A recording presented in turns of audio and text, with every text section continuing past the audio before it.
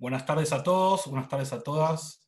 Bienvenidos al ciclo de conferencias del Congreso Judío Latinoamericano, institución que federa a las comunidades judías de Latinoamérica. Mi nombre es Danilo Hellman, soy el consultor regional de seguridad y gestión de crisis y esperamos que todos ustedes se encuentren bien en este contexto tan particular que nos toca vivir. Para nosotros es fundamental el trabajo de prevención en materia de terrorismo en la región y lo hacemos desde un enfoque multidimensional.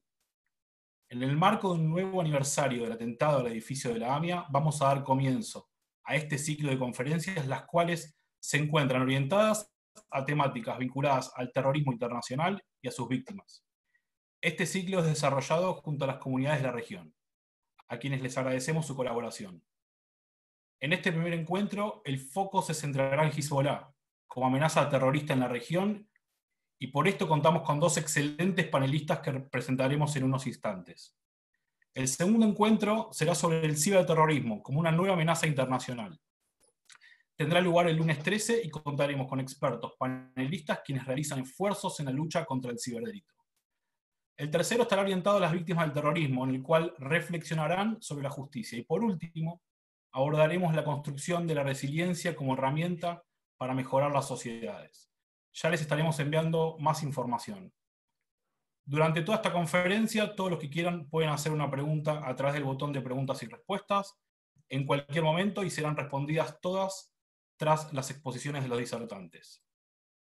Sin más preámbulo, les quiero presentar al moderador de este panel, el profesor Marcos Pekel, catedrático en Relaciones Internacionales en diferentes universidades, escuelas de inteligencia. Él también es columnista en diferentes medios, conferencista, es director de la Comunidad Judía de Colombia y es miembro del Comité Ejecutivo del Congreso Judío Mundial. Profesor Pekel, el micrófono es todo tuyo.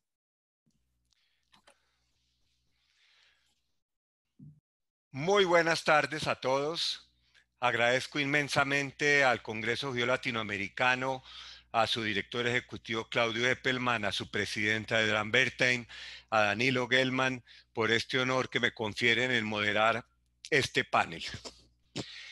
Si alguien alguna vez quiso participar, asistir, oír un panel sobre Hezbollah en general y Hezbollah en América Latina, este es el panel. Acá tenemos a los verdaderos expertos, a los que saben, a los que, se, a los que conocen, a los que separan el trigo de la paja. Acá tenemos dos panelistas que mejores no podrían ser para este tema tan actual, tan importante para el mundo en general y para las comunidades judías en particular. Quiero dar un saludo a todas las personas que nos acompañan, 555 personas hasta ahora. Tengo varios colegas de Colombia que les quiero dar la bienvenida, colegas expertos en terrorismo y todos los que nos están acompañando. Voy a presentar a los panelistas que, como les digo, son los que son en el tema de Hezbollah. Eli Carmón es investigador principal del Instituto Internacional de Lucha contra el Terrorismo e investigador principal en el Instituto de Política y Estrategia en el IDC, en el Centro Indisciplinario de Herzliya, Israel. Miembro de la lista de expertos de la División de Asuntos del Consejo de Seguridad de la ONU en la lucha contra el terrorismo miembro del Observatorio Internacional Permanente sobre Medidas de Seguridad durante eventos mayores en el Instituto Interregional de Investigación de Crimen y Justicia de Naciones Unidas en Turín, Italia, entre el 2002 y el 2008. En ese marco, participó en seminarios de la ONU preparando la seguridad en los Juegos Olímpicos de Atenas 2004, los Juegos Olímpicos de Invierno de Turín 2006 y los Juegos Olímpicos de Beijing 2008. Se desempeñó como asesor del Ministerio de Defensa de Israel y el Foro de Monitoreo de Antisemitismo de la Secretaría del Gobierno de Israel.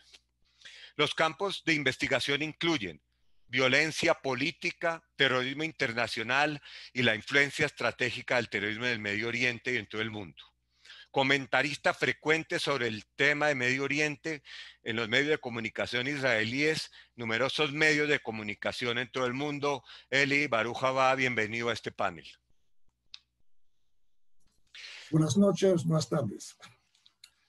Nuestro segundo panelista Emanuel Otelengui. Doctor Emanuel Otelengui es renombrado investigación especializado en las temáticas de terrorismo. Su foco de atención en los últimos años ha estado en la investigación de las actividades de Hezbollah en América Latina, así como el estudio particular de la Guardia Revolucionaria iraní. Y su trabajo ha permitido identificar redes de actividad ilícita vinculadas a la financiación y promoción de Hezbollah en el continente americano. Doctor de la Universidad de Jerusalén y autor de tres libros sobre el caso iraní, Otelengui trabajó como docente en la Universidad de Oxford. Estuvo al frente del Instituto Transatlántico de Bruselas antes de unirse a la Fundación para la Defensa de la Democracia. Instituto de Investigación Norteamericano que trabaja en pos de la reducción de los riesgos y amenazas para las naciones libres. Además de su trabajo como investigador, actualmente es colaborador habitual en medios como el New York Times, The Wall Street Journal, The Sunday Times y numerosos periódicos latinoamericanos. Doctor Emanuel, bienvenuti, bienvenido a este panel. Muchas gracias, muchas gracias. Buenas tardes, buenas noches a Eli y a todos los participantes. Gracias. Vamos a manejar la siguiente dinámica. Cada uno de nuestros panelistas hará una presentación de su tema durante 20 minutos. Después ellos podrán de pronto contrapreguntar, nosotros haremos unas preguntas y vamos acá recopilando las preguntas de los asistentes. Por favor, envíelas al Q&A, acá las vamos recopilando y vamos a tratar al final de responder a la mayor cantidad de preguntas posibles. Eli, tienes toda la audiencia para ti. Eh, buenas tardes y buenas noches a todos los participantes. Gracias, Marco, por la, presentación. Eh, quiero agradecer al Congreso Judío Latinoamericano por honrarme participar en las conmemoraciones del trágico y cobarde ataque terrorista contra la comunidad judía de Buenos Aires, pero de hecho un ataque contra todos los judíos del mundo. Es un triste evento anual para las familias de las víctimas y las comunidades judías, aún más porque hasta hoy los responsables de este atroz ataque no fueron identificados, descubiertos y castigados. Triste también porque a la larga lista de víctimas tuvimos que agregar una más, el fiscal Alberto Nisman, de Braja, quien dio su vida uh, investigando el evento y tratando de llevar ante la justicia a sus perpetradores en todos los niveles. También quería recordar a las víctimas del otro ataque mortal en Buenos Aires, las víctimas del bombardeo de la embajada israelí en marzo de 1992, ataque terrorista que tampoco se ha aclarado hasta hoy y sus autores no han sido castigados. Uh, quería abrir mi presentación Espero que esta traba. La tecnología no siempre es las uh, simples.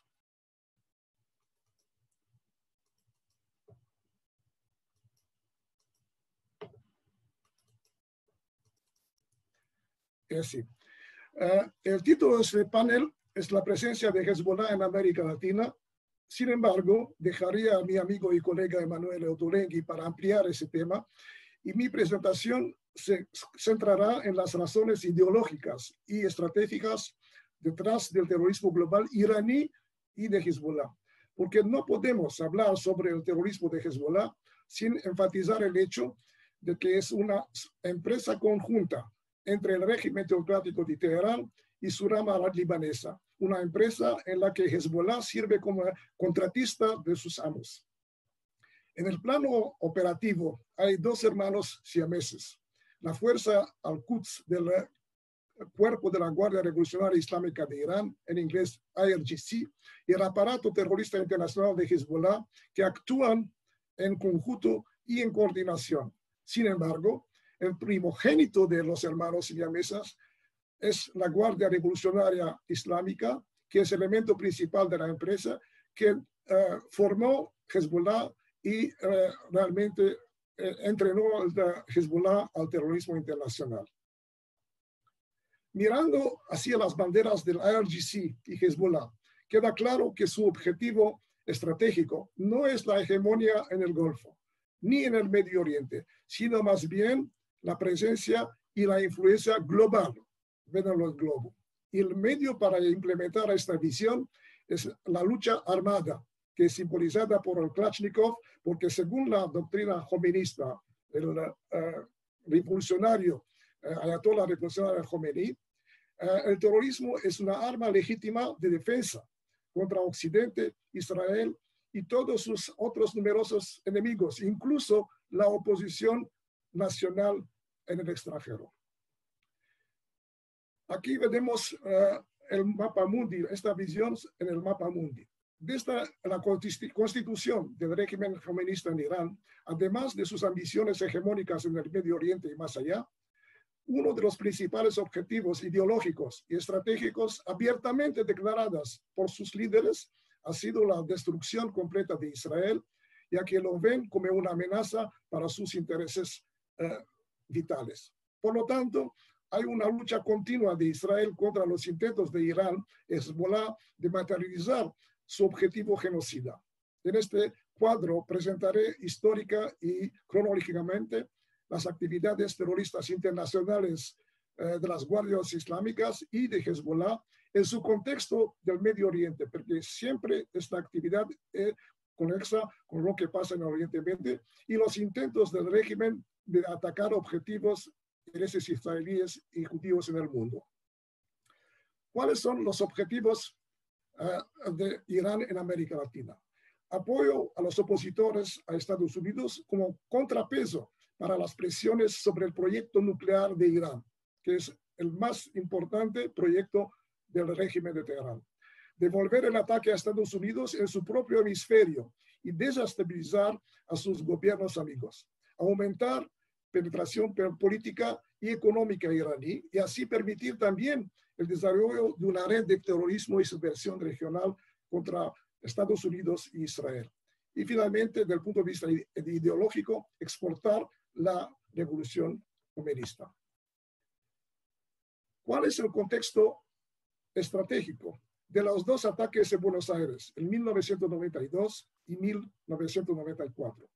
Hezbollah, bajo el nombre de Organización de la Yihad Islámica declaró que llevó a cabo el ataque de la Embajada de Israel en represalia para el asesinato de Abbas al-Musawi y su hijo el 16 de febrero de 1992, cuando helicópteros israelíes dispararon misiles contra su caravana en el Líbano.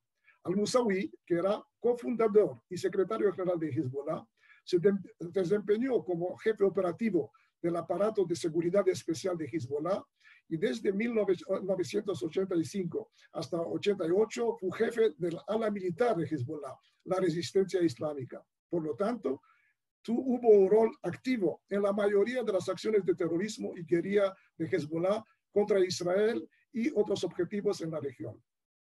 Según diversas fuentes, el bombardeo del edificio de la AMIA fue una venganza por un ataque aéreo israelí contra un campo de entrenamiento de Hezbollah en la valle de Beca, en el Líbano, que dejó más de 40 reclutas muertos.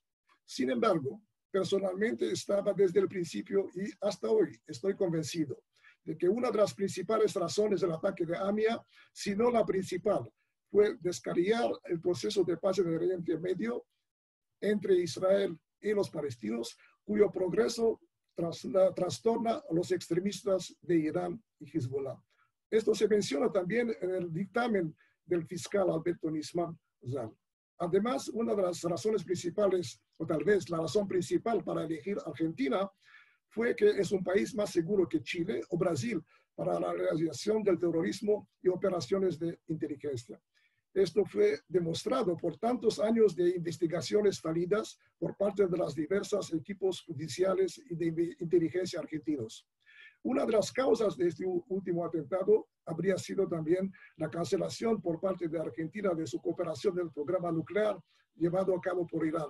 Y como sabemos, el programa nuclear es eh, de importancia vital para el régimen.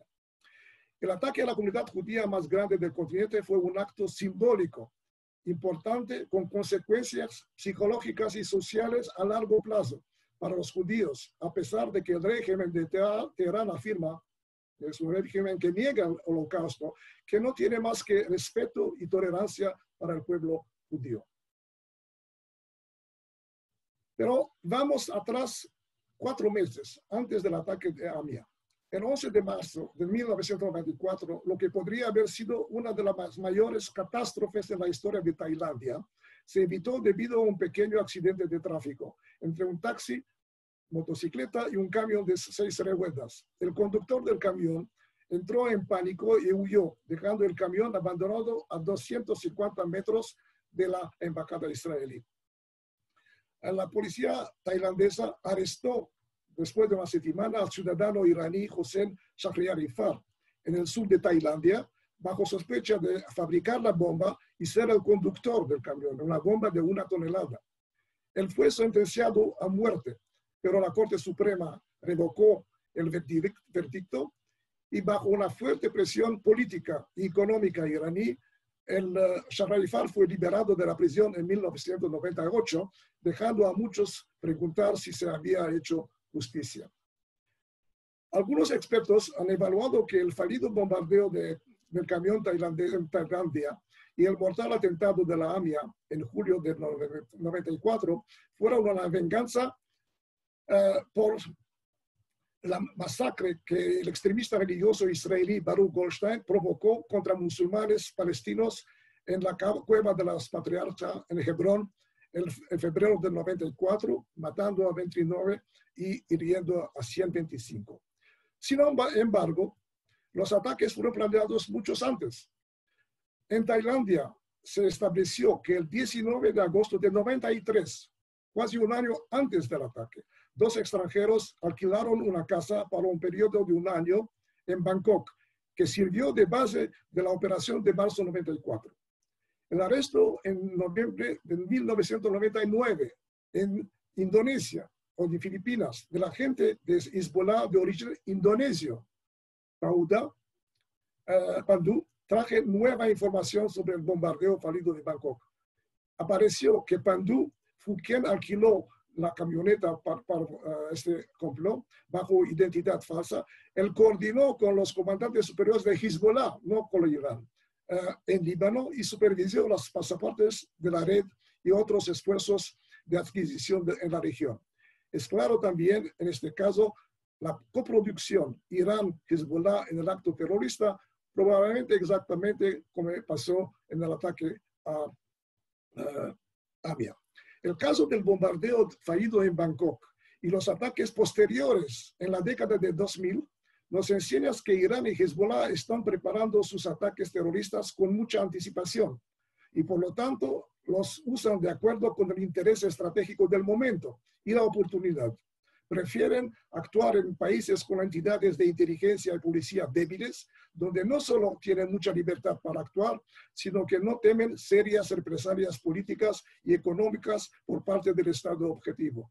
Y nos vimos que en Tailandia eh, los eh, responsables eh, en el atentado mismo fueron libertados y sabemos lo que pasa también en los acuerdos o tentativas de acuerdos con Irán en Argentina.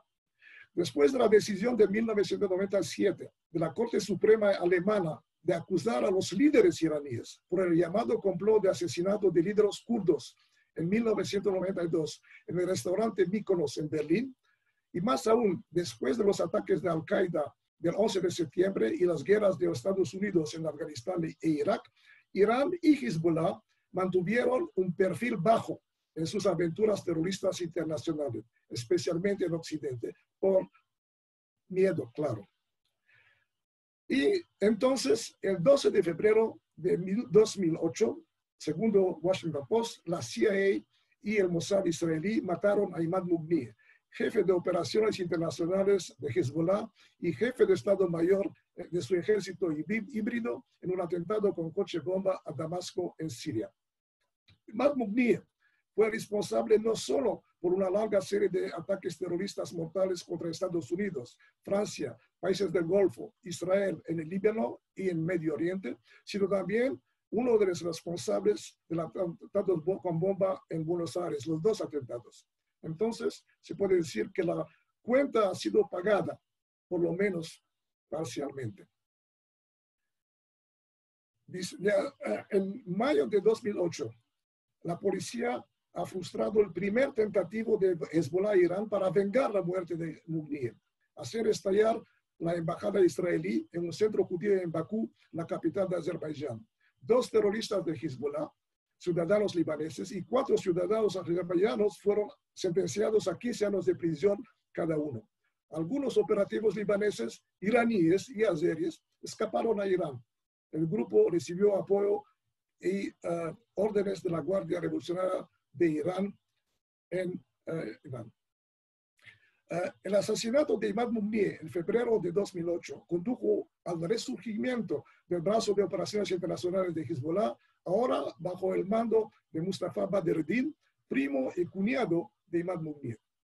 Mientras tanto, a partir de fines de 2009, el interés de Irán es centrado menos en temas locales como dejar vengar la muerte de Mumnie y más sobre el tema mucho más importante de combatir amenazas a su incipiente programa nuclear. Componentes defectuosos arruinaron centrifugadoras iraníes. Luego, en enero del 2010, una bomba mató al profesor de física iraní Masoud Ali Mohammadi a Teherán. Teherán buscó mejorar la imagen de un Irán tan débil que ni siquiera podría proteger a sus propios científicos y también tentar convencer a las potencias occidentales de que un ataque contra uh, las instalaciones nucleares en Irán provocará uh, ataques terroristas asimétricos en todo el mundo. Este último sería llevado a cabo por una nueva unidad especial de operaciones externas conocidos como Unidad 400. En total, en total, más de 20 ataques terroristas por Hezbollah o las, los agentes de la fuerza Quds fueron frustrados durante el periodo de 15 meses entre mayo de 2011 y julio de 2012. La clave de estos ataques, sin embargo, era negabilidad. negabilidad. Tanto Hezbollah como Teherán querían que se llevaran a cabo ataques, pero ninguno quería invitar a una respuesta militar contra ellos en el Líbano o en Irán. Es uh, interesante notar que los únicos dos ataques en Europa, el frustrado en Chipre el exitoso en Bulgaria, fueron organizados por operativos de Hezbollah y no Irán, probablemente para no poner en peligro los intereses directos de Irán en Europa. El arresto y el juicio del terrorista de Hezbollah en Chipre en julio de 2012 condujeron efectivamente en 2015 a la designación por parte de la Unión Europea de la rama militar de la organización, solo la rama militar, como un grupo terrorista. Cabe destacar que el ciudadano sueco de origen libanesa en Chipre y los ciudadanos australiano y canadienses del ataque de Burgas ponen de manifiesto el fenómeno de los combatientes extranjeros en las filas de las yihadistas chiitas de Hezbollah e Irán, similar a los yihadistas sunitas de Daesh y Al-Qaeda. Volvemos a América Latina. Después de 2005, Irán, bajo el liderazgo del presidente Mahmoud Ahmadinejad, aumentó su interés en América Latina. El presidente de Venezuela, Hugo Chávez, mantiene a partir de 2006 lazos con el presidente iraní y establece una relación estratégica que no solo cubre aspectos de materia energética, sino que también incorpora elementos destinados a tener una posición común frente a las políticas de Estados Unidos y los, y los conflictos del Medio Oriente. Lo que motiva a ambos gobernantes es su posición marcadamente antiamericana y en el caso del presidente Chávez, la pretensión de liderar tanto en América Latina como en el mundo un movimiento socialista, revolucionario, bolivariano, que sea contrario a cualquier hegemonía de Washington. Y estas relaciones han motivado un distanciamiento con Washington y otros países latinoamericanos, así como la preocupación de las comunidades judías de toda la región. El vicepresidente y actual ministro de Petróleo desde abril, Tarek El Asaimi, que es un uh, uh, hijo de padres sirio-libaneses, que llegó a ser uh, ex vicepresidente, y también fue ministro del Interior de 2008 a 2012. El Saimi usó, su, su, prominencia política como ministro del Interior para crear una tabería criminal ter terrorista que canaliza fondos ilícitos y drogas al Medio Oriente y facilita el movimiento de islamistas al hemisferio occidental. El régimen de Chávez ignoró o permitió la formación en 2006 de la Organización efímera y virtual Hezbollah Venezuela y Hezbollah América Latina, que había una plancha también, un brazo en Argentina, basada en la población indígena bayú del país, incluidas sus amenazas de atacar objetivos americanos y judíos. Solo después del intento fallido de octubre de 2006 de bombardear la Embajada de Estados Unidos en Caracas, Teodor Darnot, el jefe del grupo, y el terrorista, un estudiante venezolano, autor de la bomba, fueron arrestados y encarcelados por 10 años. Pero retornamos de nuevo al Oriente Medio porque la situación cambia completamente a partir de 2011-2012 con eh, las revoluciones eh, o las rebeliones en el Oriente Medio en varios estados y principalmente en Siria. Desde 2012, Irán y Hezbollah están involucrados en una operación compleja para salvar el régimen criminal de Bashar al-Assad en Siria construir una plataforma territorial en debilitado Estado sirio para amenazar directamente a Israel con sus misiles, drones y milicias, para aumentar el control del Líbano por Hezbollah y actualizar su enorme arsenal de misiles precisos de largo alcance. y veíamos los siete regimientos de iraquíes chiitas que combatieron y todavía una parte combaten en Siria. Eh, y también tomar el control del Estado iraquí a través de su proxys en las fuerzas de movilización popular. Son 40 milicias, que más de 100.000 combatientes, entrenados y financiados por Irak, y también con el eh, objetivo de expulsar la presencia americana y de NATO de Irak. Perdón. Y también usar los Houthis en Yemen para luchar contra sus archienemigos Arabia Saudita y los Emiratos. De facto, Irán casi ha logrado construir la temida media luna. Vemos como los sauditas consideran uh, Hezbollah parte integral de las uh, guardias islámicas uh, revolucionarias de Irán. Eli, ¿oíste Dakot Ligmor? Uh, Eh, para comprender la presente agresividad iraní, uno debe mirar a una serie de exitosos y fallidos ataques iraníes en 2017-2018. En enero de 2018, después de semanas de vigilancia, las autoridades alemanas allanaron varias casas atadas a agentes iraníes, intentaron arrestar a 10 agentes iraníes, ellos desaparecieron, no es claro por qué. En marzo de 2018, las autoridades albanesas expulsaron a dos espías iraníes que intentaban atacar los opositores de Irán en Albania.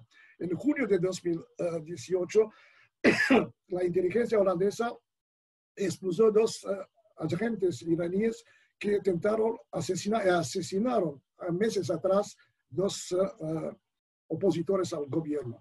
El más grave incidente ocurrió en junio de 2018, cuando el jefe de la Estación Europea de la Inteligencia iraní en la Embajada de Teherán en Viena es arrestado en Alemania, acusado de contratar a una pareja iraní que vive en Bélgica para llevar a cabo un complot de bomba contra un mitin de 4.000 participantes, todos disidentes iraníes, miembros del Consejo Nacional de Resistencia de Irán, con sede en París. Posteriormente, tres personas fueron arrestadas en Francia y un centro cultural religioso de Hezbollah en el norte de Francia fue implicado en el complot. El frustrado ataque se produjo justamente durante la visita del presidente iraní Hassan Rouhani a París y Viena para salvar el acuerdo nuclear de 2015. Entonces hay aquí una acción esquizofrénica del régimen, eh, sabotear su propia visita eh, tan importante en Francia y en Austria.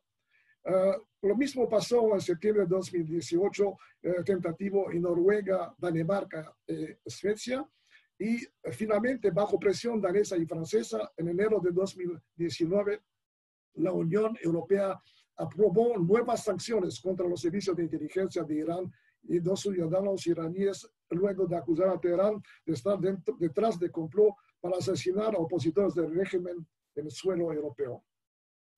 En conclusión, dado que la administración Trump ha cancelado su participación en el acuerdo nuclear de 2015 y los europeos no pueden detener las fuertes sanciones económicas americanas. Teherán ha decidido regresar lenta, pero seguramente para revivir su proyecto nuclear e infringir los compromisos de la eh, Agencia eh, Internacional de Energía Atómica. Estados Unidos ha tomado represalia matando en enero de 2020 en Bagdad al general Qasem Soleimani, el jefe de la fuerza al-Quds y el arquitecto de la expansión iraní en, en, la región.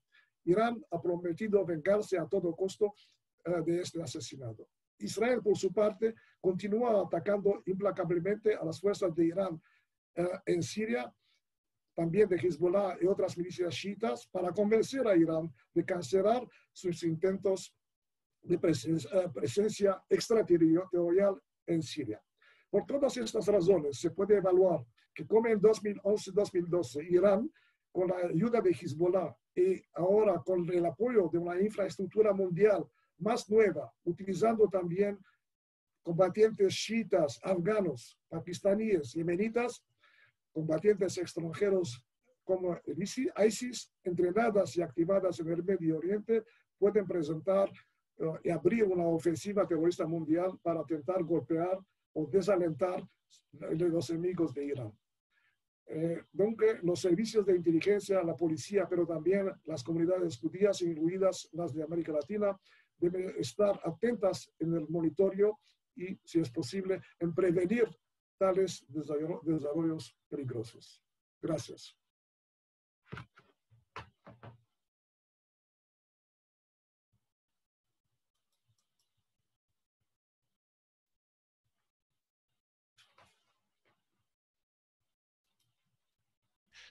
Muchísimas gracias, eh, eh, doctor Eli, por su presentación clara y contundente. Eh, doctor Emanuel, el auditorio es suyo. Muchas gracias. De nuevo, buenas tardes a Latinoamérica. quiero agradecer a los organizadores, a los amigos del Congreso Judío Mundial en Latinoamérica y a Marcos para la invitación y agradezco también a Eli. Eh, todos nosotros que estamos ah, en, este, en este estudio, investigación de Latinoamérica, somos estudiantes. Eli es el maestro y me, me hace la vida más fácil con su excelente. Gracias, no, no exagerar, no exagerar. bueno, como Eli eh, explicó, la organización de Hezbollah es algo eh, muy, muy sofisticado con una presencia global. Tiene la responsabilidad de docenas de ataques, atentados. Hoy tiene eh, el control, prácticamente el control del gobierno eh, en Líbano. Tiene una infraestructura muy desarrollada y sofisticada en todo el sur del Líbano que ofrece a la población chiita educación, servicios, eh, ayudos, pensiones, eh, movimientos eh, por los jóvenes y muchas otras cosas. Tiene una presencia militar activa en Siria, participó y contribuyó muy activamente a la guerra civil en Siria eh, y eh, está involucrada en el entrenamiento de eh, organizaciones terroristas chiitas en toda la región. El ah, gobierno de Estados Unidos en pasado muchas veces describió a Hezbollah como, como el equipo A, el A-Team del terrorismo. Y para ser el A-Team del terrorismo no se puede, eh, no se puede, eh, ¿cómo se dice? Hay que, hay que tener un presupuesto bastante importante, porque no es una actividad eh, barata. Segundo fuentes, muchas fuentes estadounidenses, israelíes, estudios eh, de inteligencia, estudios ah, académicos, Hoy el presupuesto de Hezbollah oficialmente está alrededor de mil millones de dólares por año, de los cuales como 700 millones llegan como contribución, contribución directa desde Irán. Y los otros 300 millones llegan gracias a actividades de recaudación de, dinero que llega eh, desde las comunidades de la diáspora libanés chiita en el mundo, pero también eh, en, gran parte eh, desde participación en actividades ilícitas. La verdad es que muy probablemente el presupuesto de Hezbollah, sobre todo la componente que llega de eh, otras fuentes, no de Irán, tiene un tamaño mucho más grande, que puede ser mucho más que mil millones de dólares. Y Latinoamérica tiene eh, una función central, vital, en esta actividad. Y, de este tema eh, quiero, quiero hablar un poquito hoy. Y lo hago empezando con la presencia de comunidades libaneses en Latinoamérica. Como ustedes saben, eh, probablemente mucho mejor que nosotros, hay una gran presencia eh, eh, y una gran diáspora libanesa en toda Latinoamérica. La diáspora libanesa en el mundo es una de las más grandes y la diáspora libanesa en Latinoamérica está bastante antigua. Los libaneses o los sirios libaneses empezaron llegando desde lo que, lo que era en ese tiempo el, uh, el imperio otomano a partir de la fin del siglo XIX. La gran mayoría de esta comunidad eh, era de origen cristiana inicialmente y la gran mayoría se integró en los países uh, eh, de su destinación. Por ejemplo, en Brasil hoy hay más que 10 millones de oriundos libaneses, la mayoría de los cuales son cristianos. Pero en esta inmigración llegaron también eh, libaneses de otras religiones, musulmanes, drusos, sunitas y chiitas, naturalmente. Y las comunidades chiitas, que son las más pequeñas en esta realidad, llegaron mucho más recientemente, eh, sobre todo eh, durante, a partir de los, de los años 80 o sea, en coincidencia con dos importantes eventos históricos eh, en Líbano. El primero es naturalmente la guerra civil. Muchos de los que salieron del Líbano en los años 80 eh, salieron, salieron del Líbano de una realidad eh, muy violenta, como refugiados o como gente que participó en la guerra civil y después buscó un futuro diferente eh, en la diáspora. El segundo evento importante, naturalmente, es el establecimiento de Hezbollah en Líbano eh, como una fuerza, como una extensión de la revolución iraní. Y cuando eh, el régimen iraní estableció a Hezbollah, en el mismo tiempo empezó un proceso de eh, exportación de la revolución, como él describió antes, en, en, todo el mundo donde, donde habían comunidades chiitas que podrían ser eh, los candidatos más ah, interesantes para la difusión de la ideología revolucionaria iraní.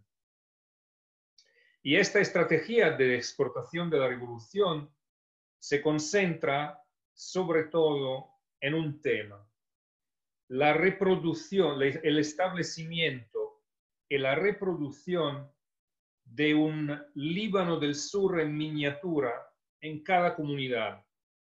O sea, las instituciones, el movimiento, el partido, los clérigos y el Estado iraní invirtieron a partir del, del, inicio de los años 80 para que las comunidades en todo el mundo devengan una pequeña copia de lo que está pasando en Líbano.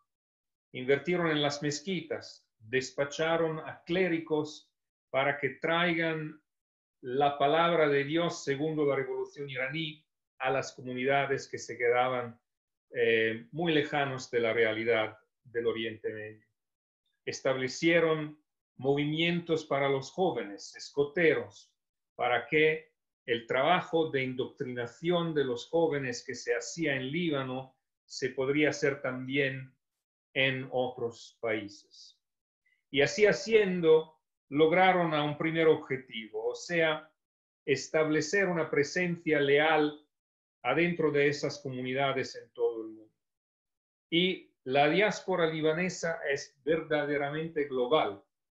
No tienen solamente una gran presencia en Latinoamérica, están también en Europa, en África Occidental y Central, en Asia, en otros lugares. Entonces se estableció una presencia global con todas las comunidades y con un vínculo de lealidad y de control que pasa por los clérigos, los ah, miembros de las instituciones de educación, los instructores de los uh, escoteros y, y, otras actividades como de caridad, eh, de asistencia social que existen también.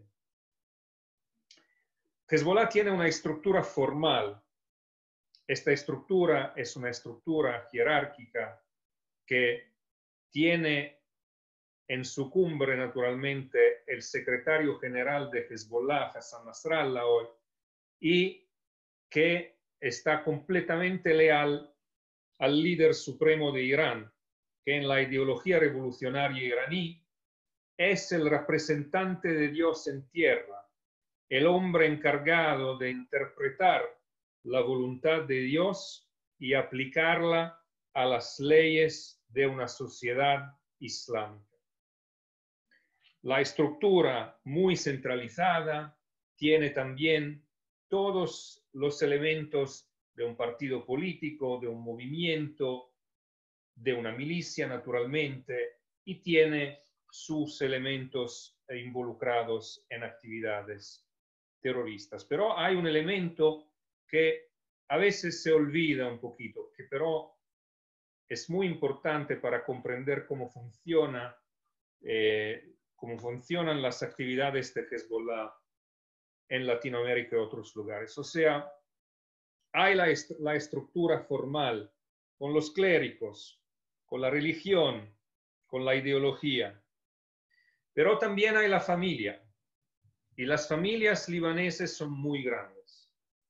Son clanes de miles de personas que, gracias al fenómeno de la diáspora, tienen presencia en todo el mundo.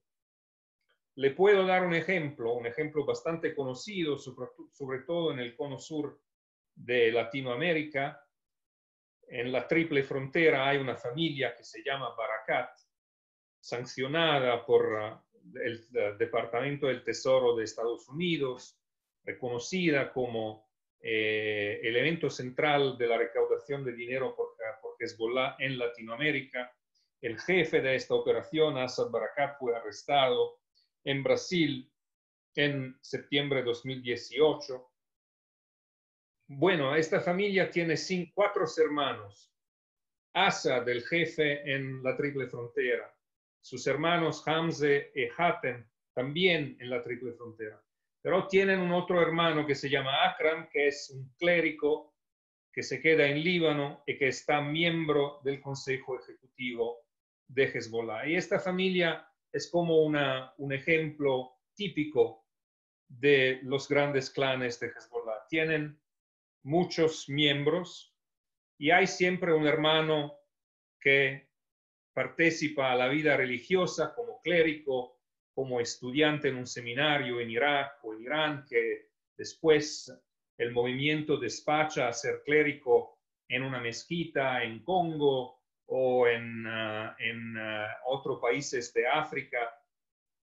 Y este clérigo tiene hermanos que son hombres de negocios en otros lugares.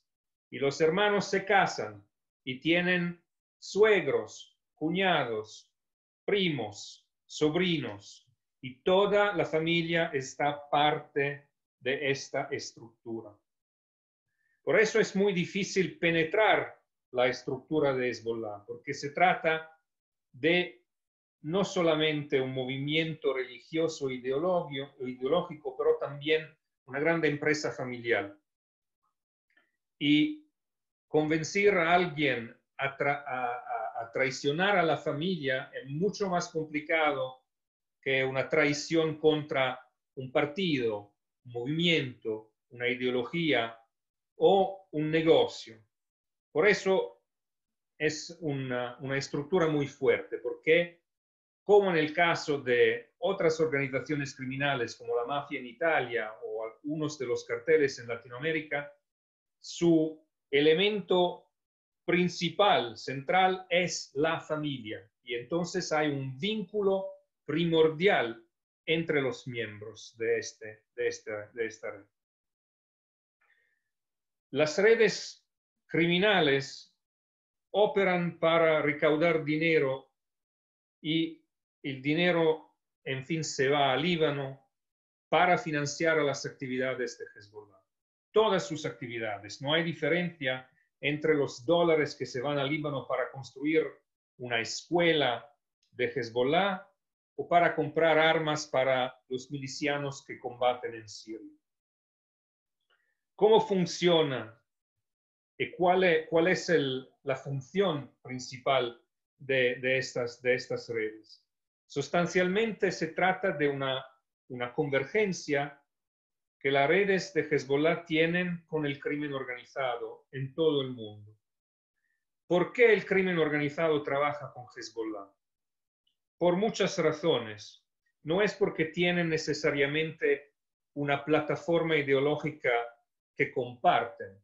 Hay casos, naturalmente, donde este, este sentido común existe, como en el caso de la FARC en Colombia, como en el caso, naturalmente, de la cooperación entre Irán, Hezbollah y Venezuela, porque el sentido común contra Estados Unidos, contra Israel, eh, existe y ayuda a la cooperación. Pero en el caso de organizaciones como los carteles de la droga en Colombia, en México o el PCC en Brasil, se trata de algo mucho más simple. Hezbollah tiene una red global de negocios y comercios. Los carteles venden droga y trafican en otras cosas ilegales, tráfico humano, tráfico de diamantes en África Occidental, tráfico de cigarrillos, tráfico de armas, tráfico de droga. Ellos tienen el control del territorio. Muchas veces tienen también relaciones comerciales con organizaciones criminales en otros países. Los colombianos que venden droga en Europa tienen contactos con la mafia italiana, con el crimen organizado en Holanda, con el crimen organizado en los países eh, de la Europa central y, y oriental. Pero le falta algo. No tienen la capacidad de repatriar el dinero que sale de las ventas de sus productos ilícitos. Hezbollah entonces ofrece un servicio. ¿Y cuál es el servicio? El servicio, yo siempre digo, es una, la analogía, la analogía más, más simple y más clara, es tres tipos de servicios. El primero es que Hezbollah funciona como el DHL de los criminales yo soy un, miembro de un cartel de la droga en Colombia, necesito despachar 8 toneladas de cocaína en Italia a la, a la a la mafia calabrese. Hezbollah puede organizarme el envío. Después, Hezbollah funciona como la Western Union. No solamente necesito despachar el producto, pero también necesito que alguien me ayude a recaudar el dinero. En 2017, la oficina del Envigado vende 8 toneladas de cocaína a la mafia calabresa en Italia. ¿Quién es el hombre encargado de ocuparse del dinero, de blanquearlo en Líbano y despacharlo después a los colombianos? Un libanés chiita que vive en Italia, que está, que hace parte de una red de blanqueadores libaneses. O sea, los colombianos no tienen un colombiano en Italia o en Alemania para blanquear el dinero. Los calabreses no tienen un calabrese que le va a hacer este trabajo. Ellos hacen negocios juntos, pero utilizan a Hezbollah para blanquear el dinero. Y la tercera actividad, naturalmente, es el equivalente de nuevo criminal de Amazon. No solamente se encargan de traer una mercadería que es de otros a destinación, también están involucrados directamente en el tráfico. Ellos compran cocaína de los traficantes, utilizan sus redes de distribución y blanqueo para traerla a los mercados de consumo, la venden y ganan para financiar a sus actividades. ¿Y por qué? ¿Qué hay de, cuál es el vantaje de este tipo de actividad? Que como cuando se trata de servicios legales, en el caso de lo que Hezbollah hace por los carteles, sus servicios le permiten de obtener una comisión, un pago que puede ser entre el 8 y el 15%. Hay un caso bastante conocido en 2011, eh, un acto de acusa de la justicia estadounidense contra un libanés que tenía ciudadanía colombiana, Ayman Juma, que blanqueaba dinero por los tetas en México y la oficina del endigado en Colombia. Blanqueaba hasta 200, 200 millones de dólares por mes. Entonces se imaginen, una operación que blanquea 200 millones de dólares por mes y que recibe en cambio una comisión del 15%. En un año se trata de más de 100 millones de dólares que recaudan para la causa, que le permite de comprar armas y otras cosas para, para ayudar al movimiento. Entonces, esa es la actividad principal. Ahora hay muchos en Latinoamérica que dicen, bueno, estos hombres sí hacen algo de criminal, pero el blanqueo de dinero no mata gente. Y aquí tenemos problemas de, naturaleza muy diferente, mucho más complicada. No podemos perder tiempo con comerciantes de teléfonos celulares que blanquean un poquito de dinero aquí eh, y que pero no hacen nada de mal, en fin. Ahora, aquí está el problema. Primero, la función de blanqueo del dinero de los criminales alimenta problemas muy contundentes y urgentes en las sociedades de Latinoamérica. Primero, alimentan al crimen organizado, ayudan a la continuación de la violencia social y segundo, contribuyen al, debilitamiento de las instituciones, porque para que la, máquina blanqueadora funcione, hay que pagar sistemáticamente las autoridades, hay que alimentar la corrupción que está endémica en todo el continente. Entonces, estas actividades representan una, una, amenaza contra la estabilidad y el fortalecimiento de la democracia de la transparencia, el desarrollo económico, la seguridad social en todos esos países. Segundo, para que estas comunidades continúen operando en este sentido, Hezbollah continúa, gracias también al apoyo y la coordinación con Irán, a indoctrinar y radicalizar a las nuevas generaciones de libaneses chiitas en todo el continente. O sea, hay un otro problema aquí, que para que estas comunidades continúen trabajando con el Partido de Dios en Líbano, deben mantener su sentido ideológico. Y para que mantengan su sentido ideológico hay que indoctrinarlos. Y la indoctrinación crea una presencia de extremistas en el país. Y los extremistas están listos no solamente a blanquear dinero, pero pueden ser movilizados para otras actividades. Y ese es el segundo problema y la segunda amenaza a Latinoamérica. se blanquea cada día. No se organizan atentados terroristas cada día, pero para organizar un atentado terrorista en países lejanos como en Argentina, como pasó en 1992 y 94, hay que apoyarse a una infraestructura local que ofrece apoyo logístico, financiación y a veces también otros servicios para que cuando los, agentes llegan para actuar sus atentados, todo ya está listo.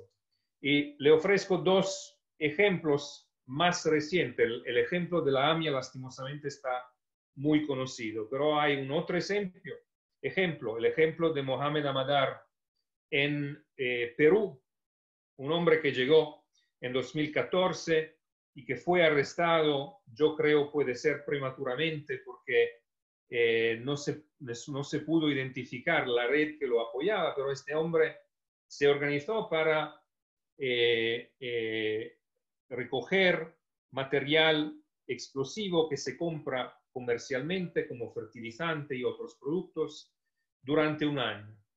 Otro caso, un hombre eh, libanés con ciudadanía estadounidense, Samer El Debe, que fue arrestado en Nueva York en 2017, que estaba planeando un ataque al canal de Panamá. Y de nuevo, para golpear al canal de Panamá, como en los casos de Chipre que mencionó Eli y otros casos en Europa, hay que pacientemente pasar años comprando a poco a poco el material que se va a utilizar para el atentado y para hacer eso hay que utilizar una red comercial con empresas de fachada que pueden comprar al material explosivo.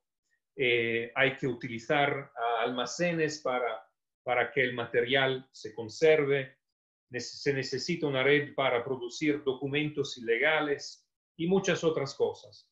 Y este tipo de apoyo logístico que es fundamental para el éxito de un ataque terrorista, lo ofrecen los apoyadores, financiadores, simpatizantes de Hezbollah en el lugar donde se hará el atentado, o sea, en nuestro caso, en Latinoamérica.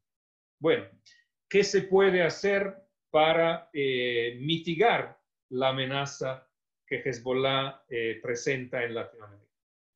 Primero, a nivel político y diplomático, hay que los gobiernos de Latinoamérica, como en otros lugares del mundo, reconozcan que Hezbollah es una organización terrorista. Unos gobiernos de Latinoamérica, Argentina, Paraguay, Colombia, Guatemala, Honduras, ya eh, tomaron medidas, hay que hacer más y hay que los otros países también sigan en esta dirección, en este sentido. Segundo, hay que potenciar la capacidad de investigación de las fuerzas del orden y de las agencias de inteligencia para que se puedan identificar estos, eh, estas redes, eh, para que se puedan prevenir sus actividades, para que se puedan golpear eh, los movimientos eh, de dinero que contribuyen al financiamiento del terrorismo en Oriente Medio. Tercero, hay que potenciar el coordinamiento regional. La mayoría de estas redes no son redes que se quedan en un país solamente.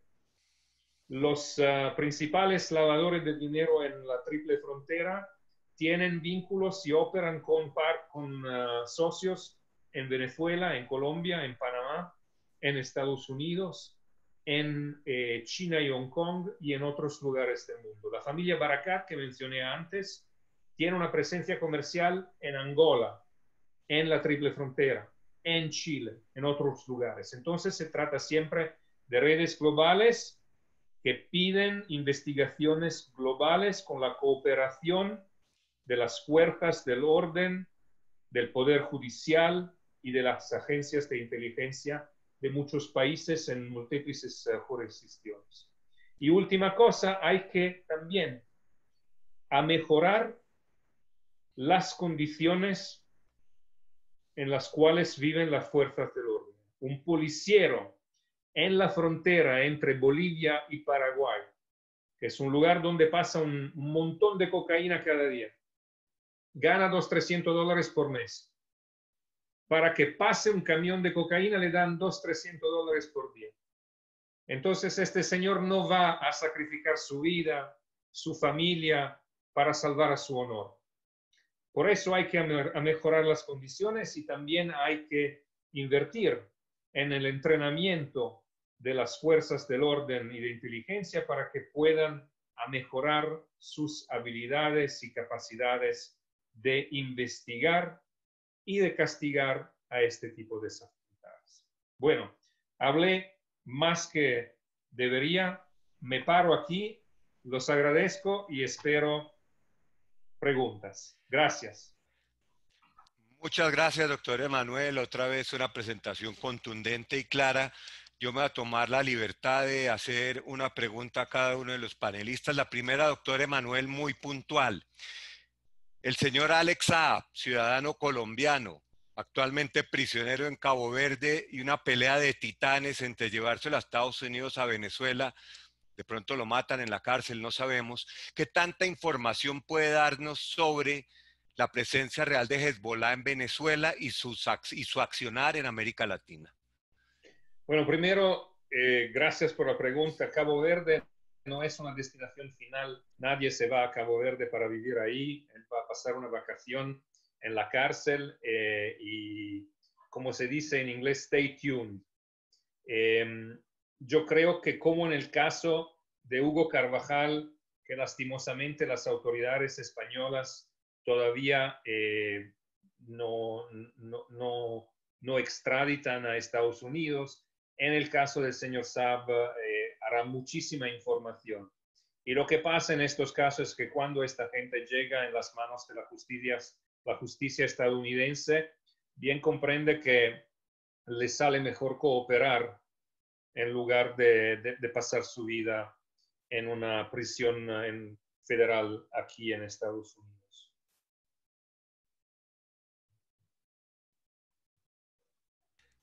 Bueno, esperemos a ver. Muchas gracias. Eh, una pregunta para el doctor Eli Carmón que recoge algunas de las que han hecho los, eh, los asistentes, más de 650. ¿Qué capacidad operativa realmente puede tener esto en Hezbollah para actuar en algún país de América Latina? Tenemos una pregunta del Canal 4 de Uruguay también sobre Uruguay, pero como uno de los países de América Latina. ¿Hay una capacidad real de llevar a cabo otro AMIA o un atentado contra un objetivo distinto en América Latina con Hezbollah solo o con alguna red local?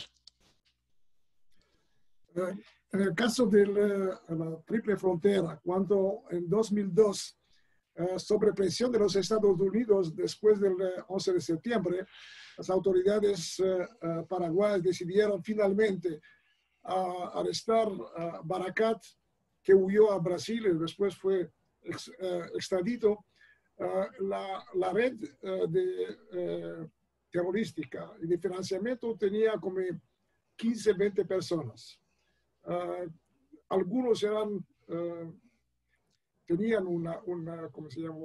Un, entrenamiento militar también, porque se debe ah, comprender que durante las guerras civiles en, en Líbano, una parte de los combatientes que pertenecían a, a, estas familias fueron combatientes por razones personales o por razones familiares o por la decisión de la organización, son mandados en el lugar donde hay más posibilidades de integrarse, justamente porque, porque hay ya una familia allí.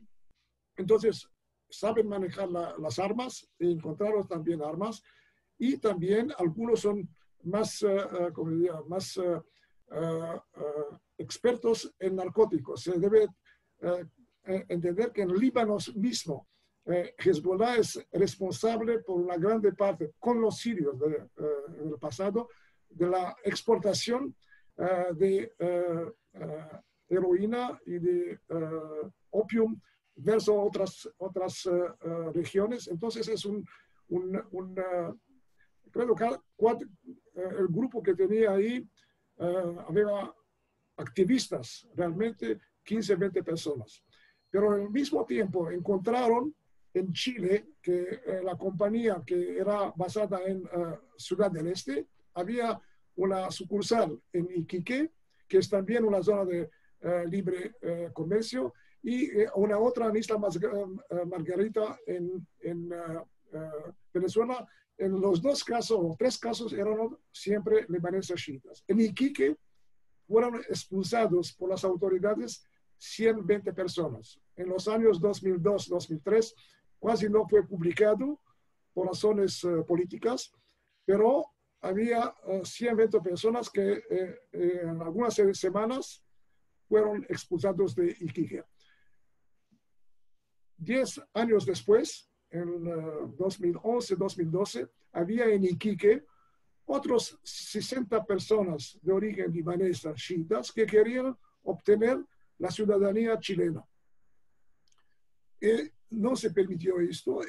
Ellos fueron expulsados o no podían actuar porque no tenían la ciudadanía chilena para ser activos en la región. Entonces, estos son los números. Decenas de personas que son involucradas en estas actividades. Muchas gracias, doctor Eli.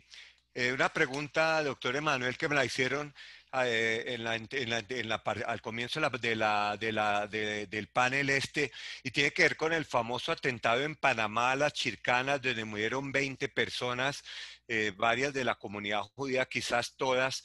¿Se ha podido descubrir realmente que haya habido un vínculo de que ese atentado, de que eso haya sido un atentado y que Hezbollah haya estado involucrada? Este es el caso del avión, que, sí, sí, sí. sí. correcto. Sí, sí, sí, sí, absolutamente. Se confirmó, creo que las autoridades estadounidenses recientemente confirmaron que se trató de un ataque vinculado, vinculado a Hezbollah. Entonces, sin, sin duda. Y creo que se pueda decir, eh, de nuevo, sin duda, que eh, hoy en 2020 Hezbollah tiene una presencia más fuerte que, que tenía en, uh, en, uh, en, los años 90 cuando uh, ayudaron a los ataques en, en, Argentina y en Panamá. Tiene más capacidad, tiene también más influencia eh, a nivel político en, en, países, sobre todo a nivel local. Tiene contactos gracias a la corrupción en unos países, tienen acceso a las autoridades eh, de migraciones para facilitar la compra de ciudadanía o a menos del permiso de residencia en muchos países. Se acuerden que todos los eh, financiadores y terroristas de Hezbollah identificados durante las décadas en Latinoamérica tenían a menos un pasaporte latinoamericano. Y no solamente porque el régimen bolivariano de Venezuela los entregó a los libaneses para hacer un favor a Ahmadinejad.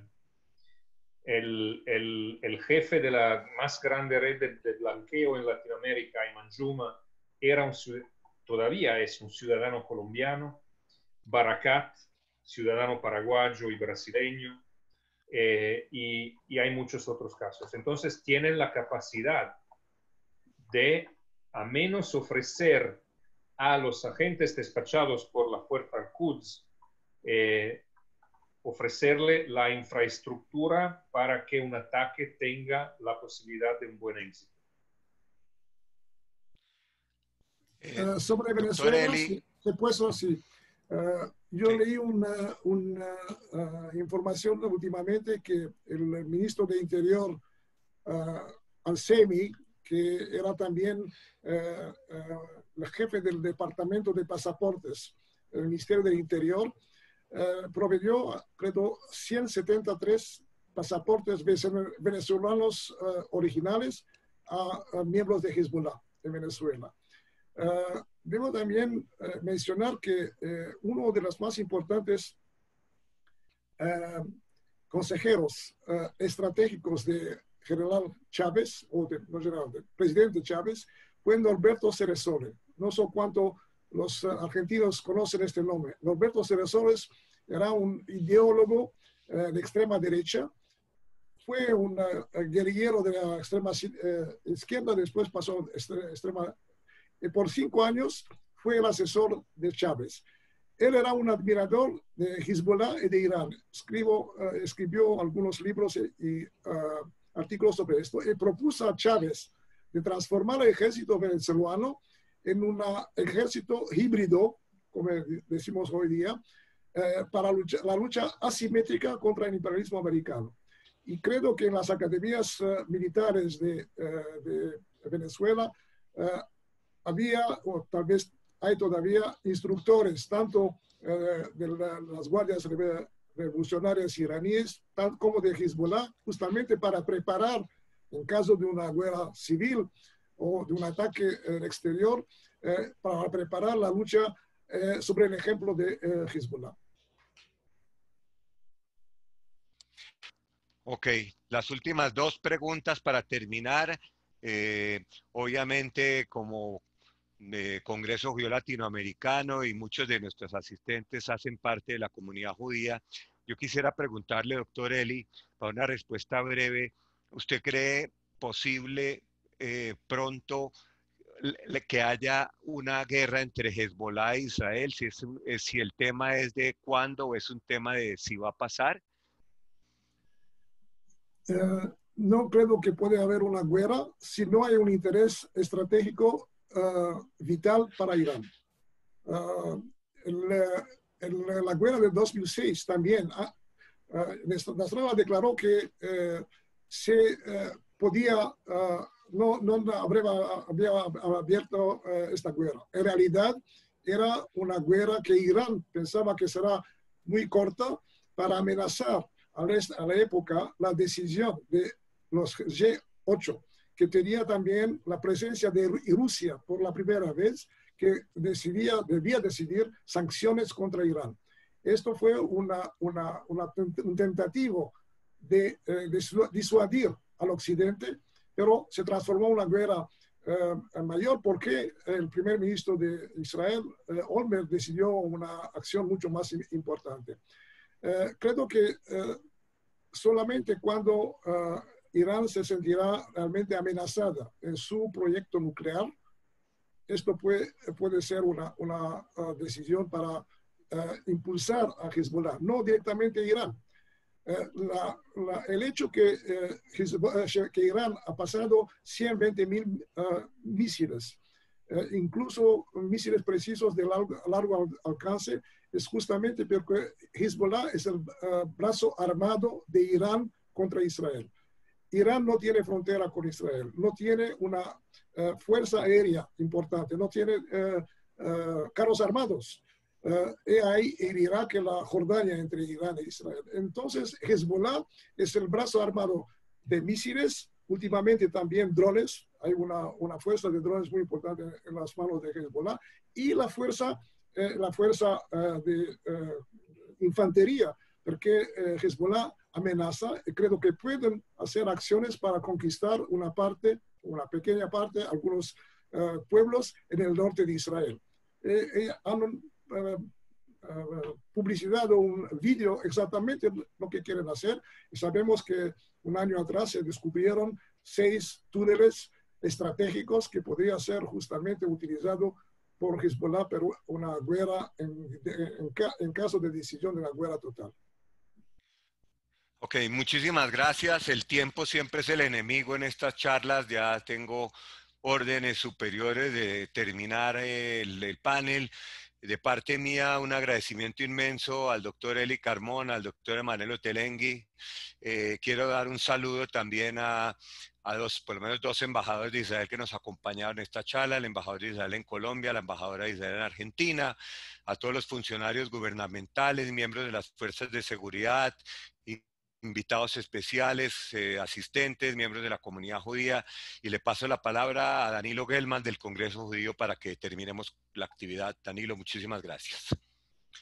Gracias a Gracias, Marcos, a vos. Simplemente muchas gracias eh, a, a todos y a todas que se quedaron hasta este momento. Nos quedaron demasiadas preguntas sin responder por temas de tiempo, pero haremos otro encuentro para poder responderlas.